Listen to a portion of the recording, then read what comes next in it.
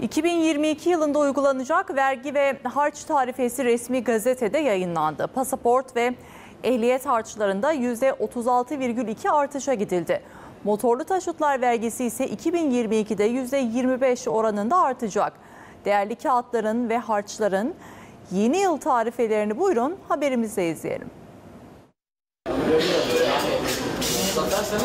Pasaport harçları, vergiler, ÖTV matrahları.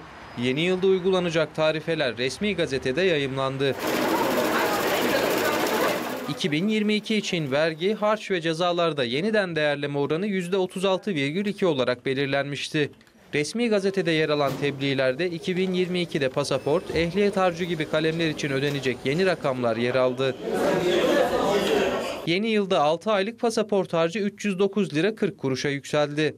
3 yıl ve üzerinde süreli pasaport alanlar 1478 lira harç ödeyecek. A sınıfı ehliyet harcı ise 370 lira 40 kuruşa, B sınıfı ehliyet harcı da 1116 lira 90 kuruşa çıkacak. Yeni yılda özel iletişim vergisi de 117 lira.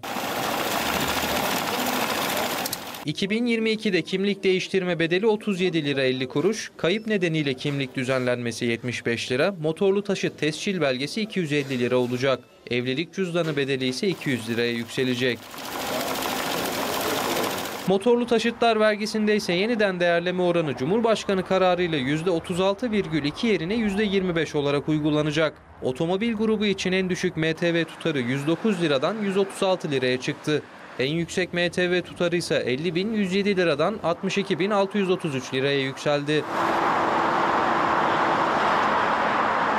Yeni yılda engelliler, şehit yakını ve malul gaziler için 0 kilometre araç alımında tanınan 330.800 liralık ÖTV muafiyeti matrahı da artırıldı. 2022'de engelli, şehit yakını ve gaziler 450.500 liraya kadar olan otomobilleri ÖTV indirimli alabilecek.